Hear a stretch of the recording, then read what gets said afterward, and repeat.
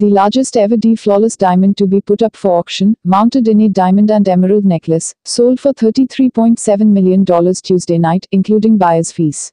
The white matchbox size creation 1 diamond from Swiss jeweler de Grisogono weighs a whopping 163 carats.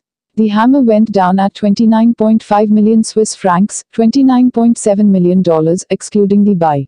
As premium underscore around the midpoint of the pre-sale estimates before the auction at Christie's in Geneva. The buyer was not immediately identified. Australian diamond company Lucapa, which mined the S. Stone originally measuring over 7 centimeters 2.7 inches in length, says it was the largest diamond ever discovered in the African nation of Angola. The rough stone that it was cut from weighed 404 carats. Also on the block was Le Grand Mazarin, a 19-carat pink diamond that once belonged to King Louis XIV, Napoleon Bonaparte and other French rulers. It sold for a hammer price of 12.5 million Swiss francs, obliterating the pre-sale estimate. Le Grand Mazarin was up for auction for the first time in 130 years, during a sell-off of French crown jewels. Originally from the Golconda mines in India. The stone was set in the crowns of almost all kings and emperors of France since the early 18th century, Christie's said. The buyer wasn't immediately identified.